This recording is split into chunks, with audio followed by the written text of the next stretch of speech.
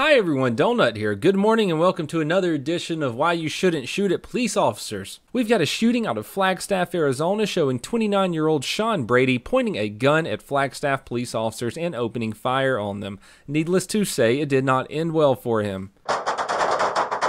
This happened last Thursday night at around 10 p.m. when officers were called to the Walmart parking lot in Flagstaff over complaints of a man in the parking lot with a gun. Police arrived on scene and Officer Condon with the Flagstaff Police Department asked Sean Brady to turn his engine off and step out of the vehicle. Brady responded by raising a gun and shooting at Officer Condon.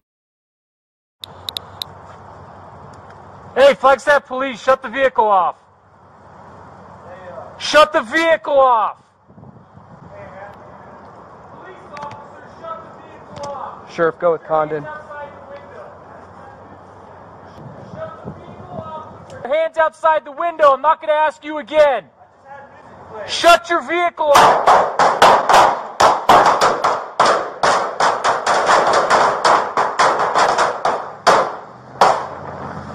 Howard, Shots fired. 998. 998. Shots fired. Passenger car. Get in the passenger. Get in the passenger seat. Passenger seat. 998, shots fired. Tower 30, copy 998. sliced into an island here. We have the vehicle disabled.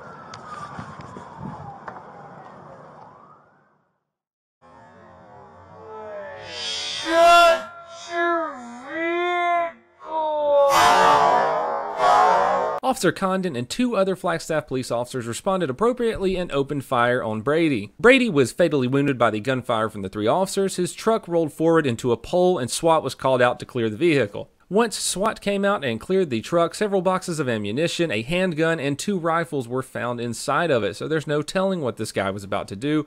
Awesome job by the Flagstaff Police Department. Thankfully, none of the officers in the video were injured. Officer Condon even looked like he dodged a bullet. He did an awesome job by running to the back of the vehicle and returning fire on Brady. Good job by everyone. I'm glad everyone's okay. Everyone, this is Donut. Please have a fantastic day.